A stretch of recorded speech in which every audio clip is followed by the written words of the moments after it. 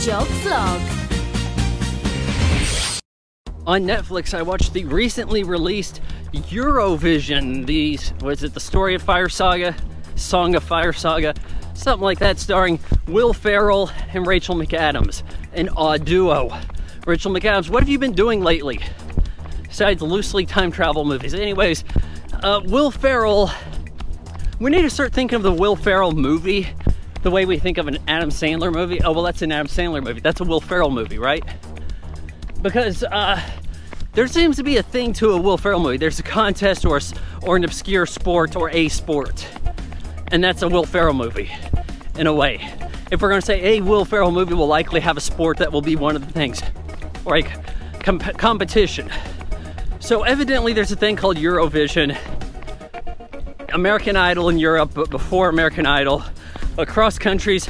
Each country sends their best pop duo, act, whatever, to compete.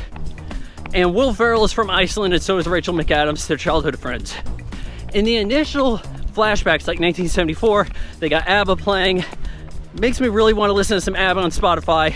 But I did not immediately recognize Pierce Brosnan as uh, Will Ferrell's dad. Was that not him, but with heavy makeup, some CGI? I don't know. Uh, now you flash forward some, and you're aging Pierce Brosnan up even. Yeah, okay, I recognize him. But, uh, you know, Pierce Brosnan could still bond as far as I'm concerned. Give him a Never Say Never Again. Let him be like a, a placeholder gap filling for the next Bond, younger Bond. Okay, let him do that. Give the man his due. Will Ferrell does his singing in this. And all the songs are bad. They're not my style.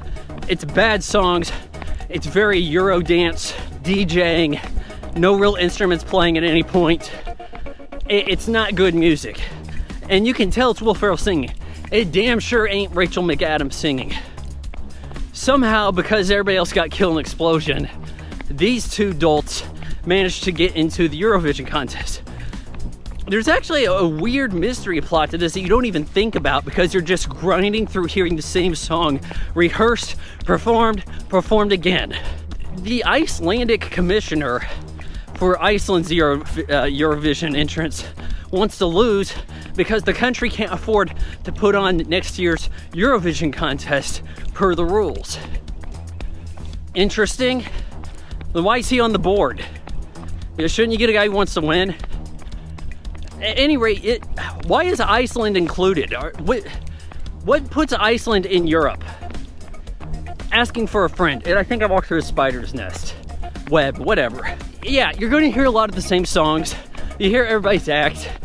Uh, they do a song along where they string together a bunch of songs and sing karaoke. It gets annoying. You have this guy, he was, well, that X Men TV show spinoff on FX. The guy from that, is his name I keep thinking, is, is his name Dan Stevens? It sounds like a UFC fighter. He's Russian. He's the favorite. Uh, he, he has offered Rachel McAdams. Will Ferrell seems to be kind of into this. I think she was Greece entrant. I, I don't know. But nothing really happens between them. You don't really have them as the bad guys. Actually, there's these elves that Rachel McAdams sort of pays homage to. And they grant her wishes, they protect her. Uh, she's always saying the elves did stuff. And there's some payoff to that. An elf stabs the commissioner of Iceland Eurovision in the back to save Will Ferrell. And he's like, oh, thank you. All right, I'm gonna leave the knife here if you have to do more killing to do. the best exchanges are when Will Ferrell's alone or riffing on the Americans. He runs across some Americans uh, while he's over there at the Eurovision contest. Is it in Paris, I think? He's giving them instructions and Fire Song ends up not redoing the song they agreed on. They sing a new song, their style, before K-pop guy remixed it. But they're excluded from the Eurovision because they broke the rules. Why would the rules dictate you have to sing the same song at each stage of the contest? This is a broken shit or what? So I assume that the Russian guy wins, but they win the hearts. Flash forward like a year later, they have a little kid. They're doing their little gig again. Everybody wants they want to hear the the old songs, and they're kind of cool with that. But he invited the Americans there for some more jokes. It's not all that unfunny, but boy is it cringe early and at two hours plus, I believe. It, it's a big ask to get to sit through that much of a certain brand of comedy, especially when it seems to have little going for it up front. Uh, but if you know if this is your kind of music, I think you're going to enjoy this more than I did. I give Eurovision, Song of Fire, whatever, Game of Thrones, two and a half out of four stars. okay, concluding. I don't have a verses in mind, but I need to wrap up this session jogging and vlogging. I'm uh, hitting end. I ran for 28 minutes, 42 seconds. Total distance 1.79 miles, average pace not good. Active calories 188 calories burned. Total calories 230. That's at least a thousand under because it's 90 degrees out. Uh, I, I'm testing a new microphone. There's probably wind muff in the frame. I'm, I'm gonna probably order something else to go with that because just my whole setup, uh, you're gonna end up with the little furry hairs somewhere in the frame in all likelihood.